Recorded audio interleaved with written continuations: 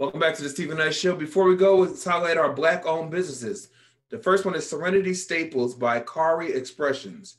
Now they do um, selected limited tabletop collections, um, ideal home staples that will transform your dining and cooking uh, platform. So check them out again at Serenity Staples by Kari Expressions. The last one is InBooze. Now they're looking for. Are you looking for a new cocktail? Each homemade booze package contains a pouch of filled with dehydrated fruit, excuse me, veggies and spices and herbs. They're infused alcohol. Again, that's in. I want to thank our guests tonight, Sean Treese Morgan and Derek Venable for joining us tonight. Have a great week. Talk to you again next Monday.